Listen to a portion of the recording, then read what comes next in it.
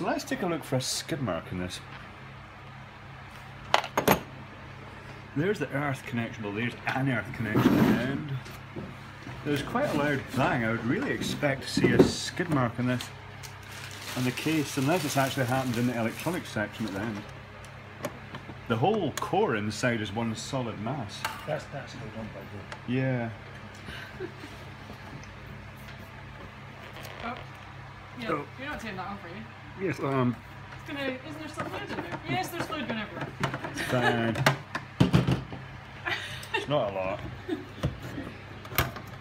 Rightio, if I had uh, lift it like this, could someone else lift the cover off it? If it will, actually, too. The cover will come off. Oh, quite sharp. open, It may slide out though.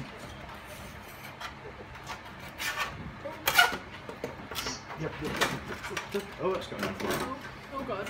That's alright, it's riveted on. Well, it's a wee space here. Right here.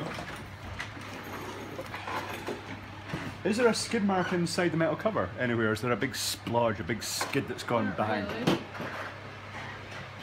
No. It may even be the interference suppressor that's popped.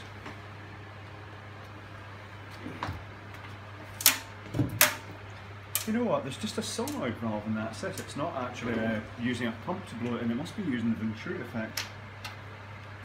What is that?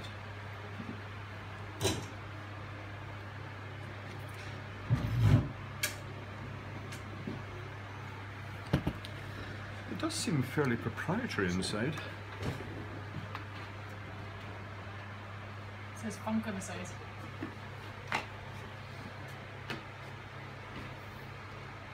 It's got, of course, liquid everywhere, so I just take this off and turn it back.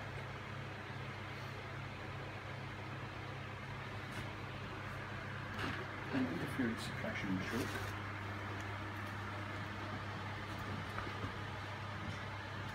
I can see a sooty mark next to the terminal that's going in.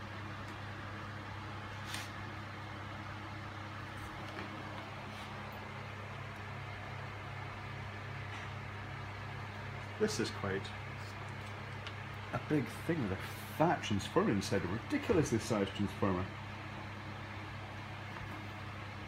This does look like it's all custom. I like the way it's glued. Yeah, I'm pouring snow liquid all over my. I wonder if the actual suppressor's actually popped. Is there anything really obvious? I'm not seeing anything immediately that's uh, chaffed through. So the power is coming in, it's going through the suppressor.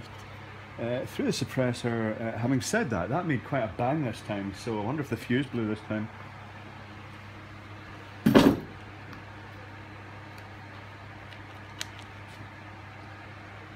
Fuse did not blow. That makes me think it is actually the. Uh, makes me wonder if the suppressor's actually gone in this.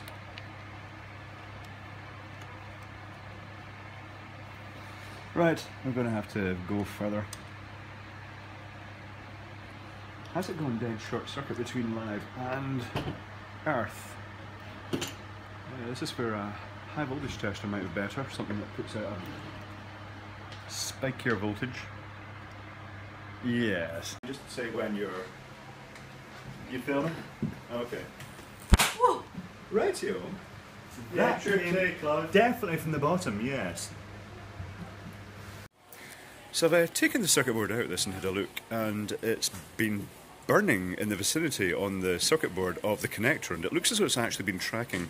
Even though there's an isolation gap, it looks as though it's been tracking across that. So the only way I've been able to fix this, I, I removed the damaged connector, uh, removed a spare connector from here, and I drilled that out to get rid of the damaged area and uh, soldered it in and put a link across to give it good clearance. So now I'm just going to work out this huge pile of wires and uh, hopefully that'll fix it. You can see the huge skid mark it's left on here where it's been blowing out the back, but uh, hopefully that will resolve the problem. Next time, just to prove that, here's the remote control with it, and if I turn it on now, it will start blowing snow out. And I'm not going to blow too much snow out because the audience is in, they're just starting to come in, so it's going to make a bit of a mess otherwise. But that's giving MJ what's going to be happening later on. It's, it's kind of, it's not really swirling up very high, the, the airflow seems to be. Oh, it is actually, it's carrying a modest distance. But yes, job done. So I shall unplug this now and controls shall revert back to the lighting desk. Fixed.